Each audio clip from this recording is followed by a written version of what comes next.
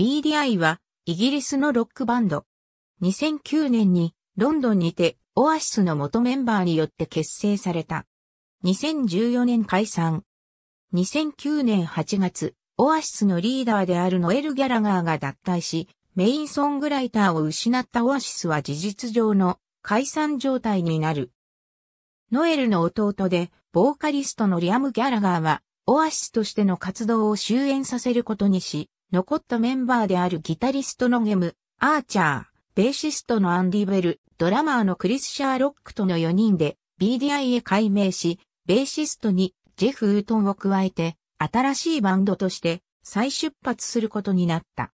オアシスの曲はほとんどノイルが作っていたが、BTI では、アンディ、ゲム、リアムの3人で曲を作ることになった。2009年11月にレコーディングを開始し、2010年11月に彼らのデビューシングルをリリースすることを発表した。2010年7月、サンデータイムズ上のインタビューで、リアムはオアシスよりビッグになると述べ、加えて、ノエルについて、あっという間に、すぐに這い戻ってくるだろうと述べた。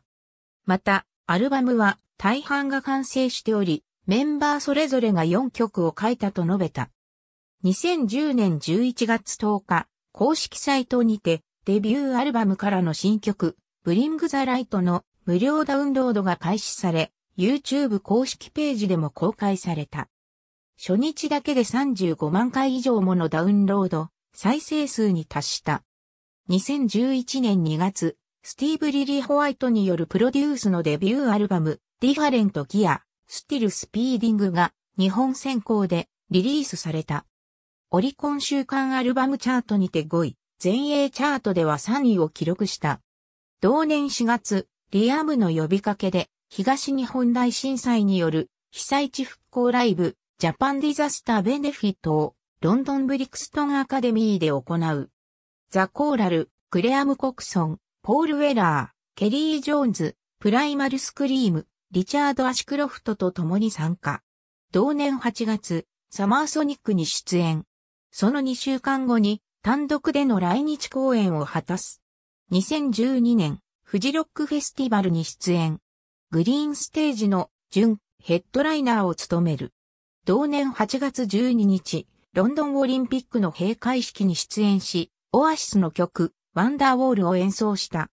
2013年3月、ジェフ・ウートンが離脱。新たに、ジェイ・メーラーが加入。6月、アルバム、B を発売。